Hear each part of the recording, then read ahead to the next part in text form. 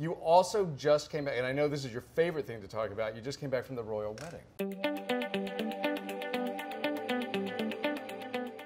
How was that? Fun. Yeah. Was it? Yeah. Was it? Did you dress up like Henry VIII at an event?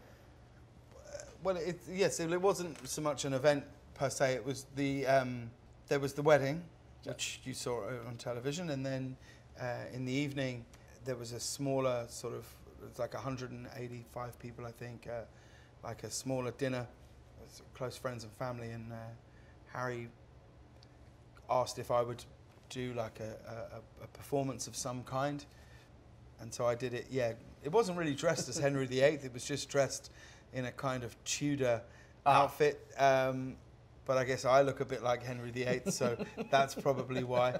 But uh, yeah, I think you see somebody in that Tudor outfit, and you just assume it's Henry VIII. well, particularly if Yeah. you look like me.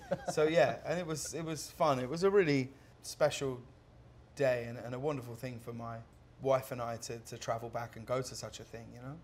The, um, the relationship with Harry actually started through charity work that you were both involved with a while ago, right? It didn't really start with charity work. It mostly just started with being sort of out and about at the same Oh, places in London. Yeah, um, yeah, that was mostly that was mostly how it started.